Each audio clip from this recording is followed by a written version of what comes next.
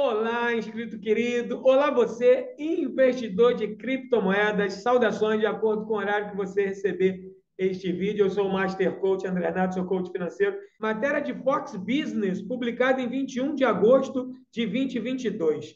O erro grosseiro da SEC de Gary Gensler. O direcionamento da criptomoeda revela as intenções da Gensler de expandir o poder da SEC. Batalha SEC versus Ripple. Muita coisa está em jogo. O correspondente sênior da Fox Business, Charles Gasparino, fala com o advogado John Ditton sobre o caso judicial altamente divulgado em Declama com em Declama Countdown. A Suprema Corte pode ter recentemente derrubado o exagero da Agência de Proteção Ambiental, mas na Comissão de Valores Imobiliários, o presidente Gary Gensler continua impassível em expandir o poder da agência além dos seus limites constitucionais.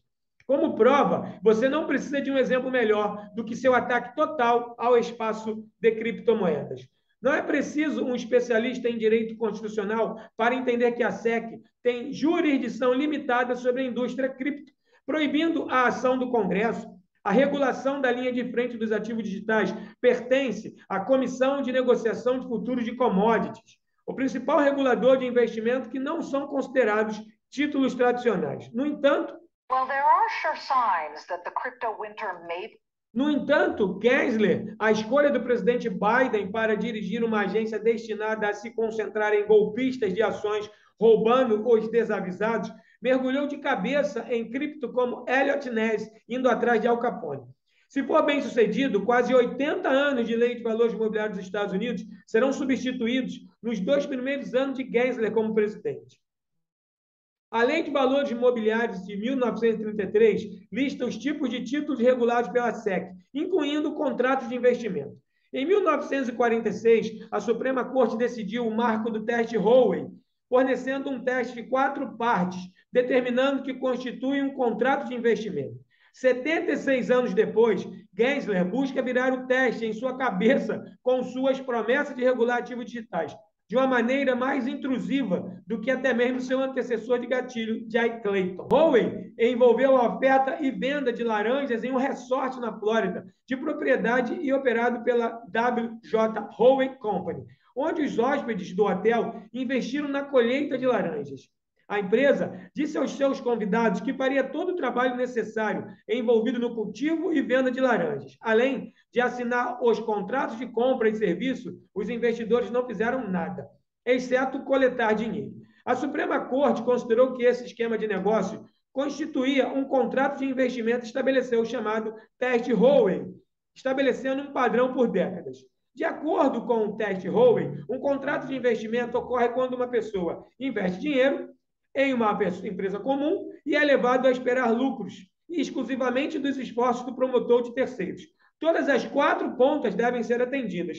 Primeira ponta, investir dinheiro. Segunda ponta, investir em uma empresa comum. Terceira ponta, ser levado a esperar lucros. Quarta ponta, exclusivamente lucros dos esforços do promotor de terceiros.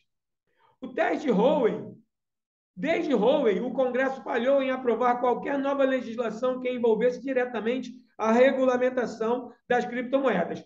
Isso deve significar que é a intenção do Congresso que o regulador de fato da criptomoeda seja a CFTC, que escolheu um toque mais leve porque teme sufocar uma tecnologia emergente que o blockchain e seus ativos digitais representam. No entanto, Gensler tem usado essa percepção de falta de clareza para desencadear uma campanha de regulação pela aplicação, estendendo Huawei além do reconhecimento.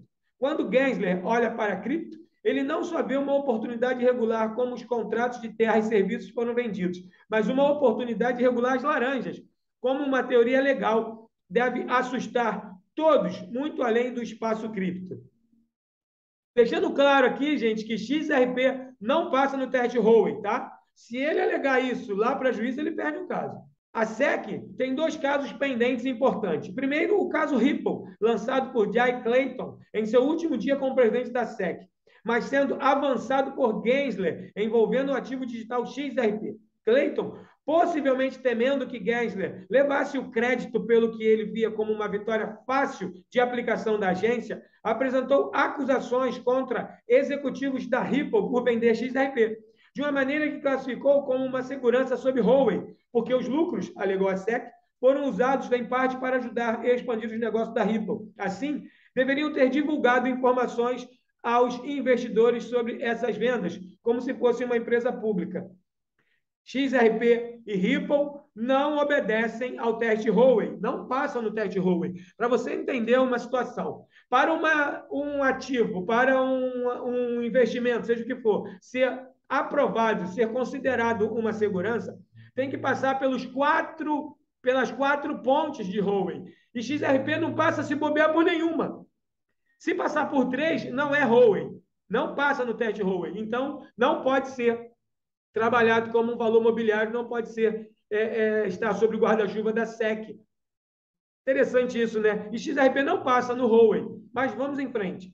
O caso está sendo ouvido no Tribunal Federal com os advogados de Gensler argumentando o mérito perante um juiz cético que fez uma série de decisões a favor da Ripple. Divulgação completa, o John Vitton serve como Amici Curiae, representando cerca de 72 mil detentores de XRP, a maioria dos quais nunca tinha ouvido falar da empresa Ripple quando adquiriram os tokens. Depois, há o caso Library, que também é supostamente sobre a falta de divulgação. Este é o cérebro de Gensler envolvendo o token digital LBC e ressalta ainda mais a intenção de Gensler de unir a, ungir SEC como principal regulador da cripto. Tenha em mente que essas são duas criptomoedas muito diferentes, operando em redes blockchain separadas, mas testando a mesma teoria perigosa. Para comparação, blockchains são os laranjais, mas em vez de produzir laranjas, cada blockchain produz uma criptomoeda nativa. A rede Bitcoin produz Bitcoin. A rede Ethereum produz Ether. O XRP, Ledger, produz XRP. E assim por diante. Do Bitcoin para baixo, o token de cada rede executa qualquer função que o blockchain foi inventado para servir. O XRP Ledger, no qual a Ripple e outras empresas não relacionadas operam seus diferentes negócios, usa o XRP, a moeda nativa da rede, para liquidar transações em outras moedas. A LBC, por sua vez, opera na blockchain L Bribe, como notas de dólar deixadas em uma mesa de restaurante para o servidor, derrubando artistas em uma plataforma de conteúdo multimídia descentralizada. A coisa mais importante a perceber é que as alegações da SEC não se limitam a quando ou como Ripple ou Libra venderam tokens. A SEC está afirmando que ambos os tokens únicos são valores imobiliários em si. Não importa quem os vende ou por quê não faz distinções entre os executivos da Ripple ou da Bright, que vendem seus tokens e as pessoas que apenas trocaram as criptomoedas mais tarde. Se for verdade, a SEC poderia então regular as vendas do mercado secundário, independente dessas empresas, incluindo vendas feitas por exchanges e detentores de varejo. É como dizer que as laranjas Huawei, eventualmente vendidas por um mercadinho, são títulos não registrados, Imagina as consequências econômicas para consumidores inocentes. Embora as, embora as leis de valores imobiliários regem investimentos como o de Huawei, a SEC agora afirma que é irrelevante, porque alguém adquiriu esses tokens, mesmo que o comprador pretenda usar o token para acessar a tecnologia por razões não investimentos. Uma recente audiência da Library revelou a teoria absurda de Gensler em poucas palavras. Se uma pessoa comprou um token no mercado secundário para usá-lo em uma rede blockchain, mesmo sem o conhecimento de que alguma empresa também poderia usá-lo nessa mesma rede, então todos os tokens são contratos de investimentos com essa empresa. Com ações de memes atraindo ligas de investidores iniciantes e a queda em specs, você pensaria que Gensler tem muito em seu prato para mexer com criptomoedas que foram negociadas por mais de uma década. No entanto, ele chama a criptomoeda de Velho Oeste, de investir porque os ativos digitais são conhecidos por financiar atividades ilegais. Mas a grande maioria da lavagem de dinheiro ocorre usando o greenback e há muitas coisas ruins acontecendo em uma internet não regulamentada. Além disso, a tomada de poder parece ser a coisa de Gensler. Ele limitou a contribuição pública sobre a elaboração das regras da SEC e expandiu os mais amplos requisitos ambientais, ESG, de divulgação de dados já propostos nos Estados Unidos. Isso pode avançar uma agenda social progressista. E como Eleanor Terret e Charles Gasparino, da Fox Business, Fox Business relataram. Isso pode ajudá-lo a garantir um emprego maior na administração Biden, possivelmente como secretário do Tesouro. De qualquer forma, a guerra de Gensler contra a criptografia pode ser sua mais ambiciosa e perigosa afronta às normas constitucionais. Todos os casos, desde Howe, descobriram que a segurança envolvia um contrato real ou algum nível de privacidade entre o comprador e o vendedor. Ausente da ação do Congresso, Gensler pretende transformar quase um século de precedentes legais em sua cabeça com sua escavadeira de execução. John Ditton é o fundador do escritório de advocacia Ditton e Cryptolaw. Atualmente, ele atua como amici curiae, representando mais de 70 mil investidores XRP em uma ação coletiva contra a Comissão de Valores Imobiliários. Ex-fuzileiro naval, Ditton é um investidor cripto e possui, possui uma fazenda em Holly Island. Essa matéria, escrita por John Ditton, reproduzida por Fox Business no dia 21 de agosto, ela traz duas, dois temas interessantíssimos. O primeiro, o teste Howe, que eu já falo aqui no canal há muito tempo, que XRP Ripple Labs não passa no teste Howe, então não pode ser alegado teste Howe para XRP. E por aí a SEC perde o processo. E o outro fator é essa fúria de, de Gary Gensler em avançar sobre criptomoedas, passando por cima do Congresso, passando por cima do Senado, aumentando a sua possibilidade, aumentando seus tentáculos, bloqueando a regulamentação, criando de qualquer maneira é, querendo, de qualquer maneira, abraçar um mercado, abraçar uma legislação, uma regulamentação que não é a dele, não é da SEC, e sim da CFTC, que cuida de commodities. SEC cuida de valores imobiliários, criptomoedas é uma commodity para o governo, para o Congresso e para o Senado americano. Gary Gensler se agarra de todas as maneiras para não permitir o desbloqueio, o deslacramento dos e-mails, dos documentos de rima. Para isso, fica muito claro que a SEC vai caminhar até mesmo na solicitação de um acordo perante a juíza Analisa Torres e a juíza Sarah Netburn para não ter que deslacrar os e-mails e documentos de rima, que pode sim, esses documentos lacrados, atrapalhar a ambição de Gary Gensler em crescer dentro do governo americano, como a matéria diz aqui, e se tornando até mesmo um secretário do Tesouro. Cenas dos próximos capítulos vamos acompanhar aqui no canal. O caso está funilando. Agora, em setembro, datas limites para apresentação de é, apelos e defesas e acusações. Outubro, não se apresenta mais nada.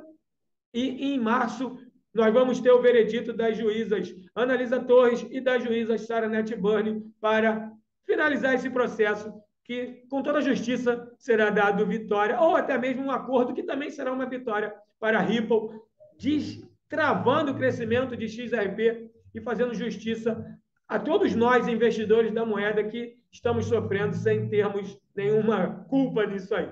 Ok? Se você gostou do conteúdo, deixe seu like, comenta, compartilha esse material. Se não é inscrito no canal, você se inscreve no canal, ativando as notificações, ativando o sininho, para você ser avisado pelo YouTube assim que eu colocar conteúdo aqui no canal. Me ajuda aí a fazer um movimento aqui no canal para o algoritmo do YouTube entender esse conteúdo como relevante e disponibilizar para mais pessoas. Dessa forma, você ajuda o canal a evoluir. Estamos pertinho de 10 mil inscritos. É uma marca muito relevante, muito importante. Eu estou muito feliz em alcançar esse número, mas eu quero mais e conto com você para a evolução ser contínua. Um grande abraço. É uma honra fazer conteúdo para você. Grato pela audiência, grato pela confiança e grato por você me emprestar seu tempo, que é o seu bem mais precioso. Um grande abraço, a gente se vê na jornada. Tchau, tchau.